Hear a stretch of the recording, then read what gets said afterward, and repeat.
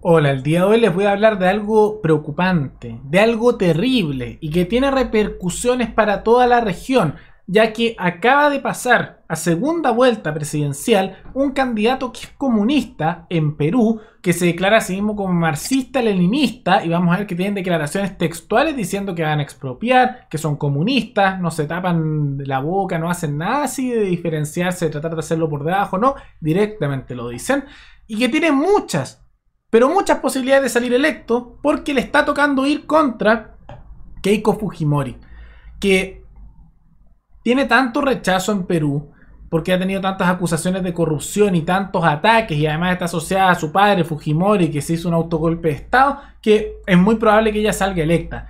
Y por eso también es tan importante, y aprovecho de hacer el aviso, que tomemos en cuenta para los que somos de Chile, la ley migratoria que acaba de aprobar Piñera, que eh, va a salir el video sobre eso el día de mañana en la mañana. Porque tomando en cuenta que es muy probable que salga electo un comunista, no me sorprendería que tengamos una nueva oleada migratoria, esta vez de peruanos. Entonces vamos a ver qué ocurrió, vamos a ver quiénes están apoyando a este señor y cómo le justifican su apoyo. ¿Qué llegó a ocurrir?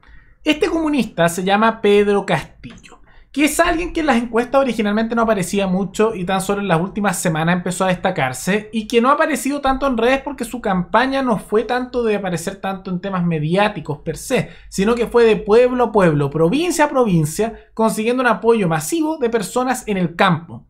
Personas que notarán esto que se parece mucho a lo que ocurre en otros países, que se sienten abandonados por la capital que todo se hace a favor de los capitalinos, que las regiones las dejan de lado, que quieren una descentralización o federalismo y nadie los toma en cuenta. Y que por lo mismo empezaron a acercarse a Pedro Castillo porque empezaron a ver que él estaba viendo como una solución a sus problemas y le tienen un seguimiento que es prácticamente fanático. Pero, ¿por qué está pasando?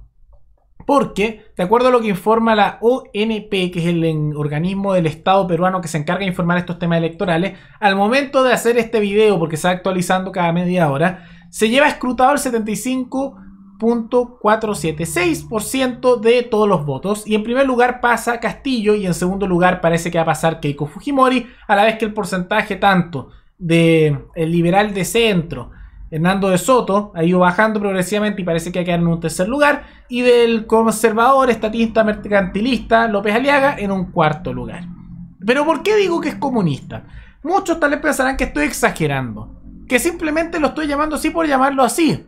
Pero no es así. A mí no me gusta llamarle comunista o fascista a la gente a menos que sean de esas características. Por eso yo no lo uso como un insulto, aunque sean palabras que creo que merecen ser vistas como insulto sino que lo veo cuando la gente se define así o cuando tienen esas características textuales. ¿Y qué pasa? Que el mismo partido de Pedro Castillo se definen así, como marxista. Y vamos a ver a continuación declaraciones donde ellos mismos dicen que es eso. Y vamos a ver algunas también de las propuestas que este señor Castillo tiene. Y los vínculos que tiene también con grupos radicales como Sendero Luminoso, que fue una guerrilla comunista en el Perú. Hermano, ustedes ninguna hoja de ruta. ¿Esto lo suscribe? Mire, nosotros nos hemos declarado, lo ratificamos abiertamente, que somos una izquierda marxista, mariateguista, y que no necesitamos disfrazar nuestra naturaleza, nuestro carácter, nuestra ideología, nuestro programa y plan de gobierno puesto que ese es el rostro que hemos mostrado siempre y esa es la propuesta que ha trasladado Pedro Castillo durante esta, esta eh, larga caminata nacional en la que Perú Libre y Pedro Castillo han logrado capturar la simpatía de la población. Nosotros tenemos claro qué es lo que tenemos que hacer para administrar el país y cambiar el rumbo de la historia. Nosotros no vamos a someternos de ninguna manera bajo la presión de ningún grupo empresarial, de ningún espaldarazo de personajes como se han hecho históricamente. Sabemos leer la historia y la historia nos dice ahora que este pueblo que ha votado por Pedro Castillo con cariño, con simpatía y con esperanza quiere un cambio contundente para la historia. El cambio de la constitución vía asamblea constituyente es nuestra eh, propuesta de bandera y a través de ella empezar el cambio real para la educación, la salud, la agricultura del país. Bueno, ahí lo habrán visto. Declaraciones hechas en la prensa de un secretario general que se les preguntaron sobre la hoja de ruta. ¿Qué es la hoja de ruta? Eh, es básicamente cuando dicen que muchas veces hay un candidato que llega con ideas medias radicales, pero a veces las cambia después y se modera. Eh, eso hizo, por ejemplo, Humala cuando llegó a la presidencia de Perú, que llegó con ideas de izquierda más dura, pero se moderó a centro izquierda. Pero los cercanos al candidato Castillo, y él mismo lo ha dicho, han mencionado que ellos tienen su pensamiento, que es marxista, así mismo lo dicen, y que ellos buscan, y aquí vamos a citar el tema de un Estado socialista, interventor, eliminar el Tribunal Constitucional, indultar a Gustavo Humala de los etnocaceristas, estatizar sectores estratégicos, nacionalización de empresas y regular los medios de comunicación. ¿Por qué? Para eliminar cualquier mensaje que pueda ser negativo. Entonces, eso lo van a hacer, dijeron que no van a cambiar sus propuestas, que son comunistas y van a seguir adelante con su mensaje. Y así diciéndolo de frontal, en un país donde justamente ha habido mucho rechazo a esas ideas por las vinculaciones a Sendero Luminoso, que tenían esas ideas, que fue una guerrilla que mató a mucha gente, él ha dicho igual eso de directo y va en primer lugar. Y es muy probable que gane porque le tocó contra Keiko Fujimori, que tiene un rechazo enorme. Pero no solo eso, ya que su círculo de personas y él mismo parece estar vinculado también a casos como el, ¿cuál? El de Sendero Luminoso. ¿Qué es eso? Que se ve que él al parecer tendría ciertas vinculaciones con esta agrupación, que en Movadef, que es una zona de, de Perú, y que ya lo vimos en un video anterior, tiene una presencia fuerte y por lo tanto se tendrían vinculaciones con los remanentes de las guerrillas de Sendero Luminoso que en su momento Abimael Guzmán habría liderado. Y no solo con eso, sino también con los etnocaceristas, que son esos anti-chilenos, que les gusta la idea básicamente de eliminar a Chile tanto a nivel cultural, eh, pero no solo con asimilación gradual, sino con disparo, podríamos decirlo. Y también el tema de mm, de intervenir militarmente en Chile y cosas por el estilo. Pero ¿qué pasa con Pedro Castillo? Que incluso ha recibido ciertos mensajes que podríamos decir son del sector más conservador que lo avala, a la vez que el sector progresista. Sectores del, como el de Verónica Mendoza, muchos han dicho que van a votar por él. Porque aunque lo encuentran muy conservador, no es neoliberal. Y otros conservadores no lo ven tan malo. No lo ven tan malo. ¿Por qué? Porque Pedro Castillo es un comunista clásico, de los tradicionales marxista tradicional. Es antiaborto, es anti-eutanasia. Dice que está en contra de la ideología de género. Está en contra de todas esas cosas que algunos dirían no son progresistas moralmente o liberales moralmente. Es extremadamente conservador. Y por lo tanto, tiene esa mezcla de comunismo económico, conservadurismo social, que es el comunismo tradicional. Y por eso hay sectores que son progresistas o de la izquierda más socialista que lo van a apoyar igual por el tema económico. Y se van a aguantar lo conservador. Y otros sectores dicen que no es tan malo, como el caso de los conservadores, que algunos dicen, bueno, si esa cosa es comunismo, etcétera, y, capitalismo está en el pasado, si esta otra época, lo que importa es ser conservador, la moral. No, es que el patriota es el que está en contra del aborto, si el aborto es lo único importante. Entonces dicen, no es tan radical, no es tan malo.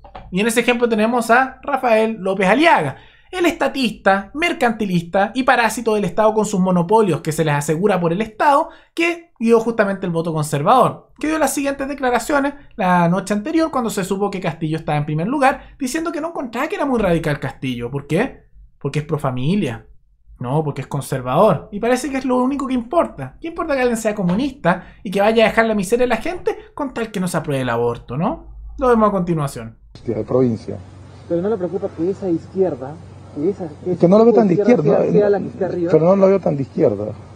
No, no, es un tipo que es pro vida, pro familia, para empezar, ¿ya? no, su propuesta habrá que ayudarlo en todo caso. Si él va a ser presidente de la República, habrá que ayudarlo para que saque el país adelante. ¿no? Yo no, yo no le pongo un, ya pues un estigma, ¿no? Él refleja un sentimiento real. Y ahí lo habrán visto. No es tan malo, no es tan malo. Porque claro, alguien, y ya vimos la grabación hace unos minutos, tan solo en este mismo video, que te dicen que literalmente son comunistas, son marxistas, van a expropiar, van a dejar al país en desastre, miles de personas en la pobreza, pero dicen, no es tan malo, no, no es tan malo, ¿por qué? Porque es pro familia, no es tan malo, no es tan radical de izquierda, hay que darle todo el apoyo posible, dice López Aliaga.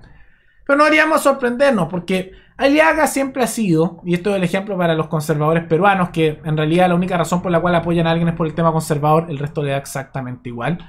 Él siempre ha sido muy antiprogresista, Aliaga. Muy conservador, extremadamente conservador. Pero económicamente le da un poco igual, ¿no? Incluso en su momento tuvo declaraciones diciendo que él estaba más cerca de la izquierda que a la derecha a nivel económico. Y ahora se nota, porque tenemos un candidato que es literalmente comunista. Comunista Y el candidato que supuestamente era el de la anti-izquierda, que es Aliaga, bueno, ahí está diciendo que no es tan malo. ¿Por qué? Porque es conservador este señor comunista que es Castillo. Bueno, Perú. Es impresionante porque Perú ha tenido un nivel de decadencia tan rápido e inesperado que es más rápido que el de Chile. Aquí Jadwe no tiene el nivel de apoyo que tiene Castillo en Perú. No pasa eso. No tienes tampoco los sectores conservadores alabando a alguien que sea comunista solo porque sea un, poco más conservador. Tampoco pasa. Y aquí incluso en Chile lo más probable es que la nueva constitución y toda la estructura que queda va a ser de centro, centro izquierda, algunos elementos de centro derecha, va a ser socialdemócrata. Pero en Perú están al borde de tener un candidato comunista electo porque además la persona con, lo que, la que le tocó es una persona con el mayor antivoto de la historia de Perú, que es Keiko Fujimori, y tiene un odio transversal tal que es muy difícil que gane. Y ahí están.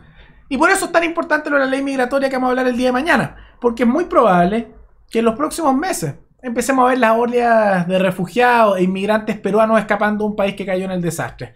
Y yo lo lamento mucho, porque realmente caer en esos totalitarismos ideológicos son la muerte de cualquier territorio.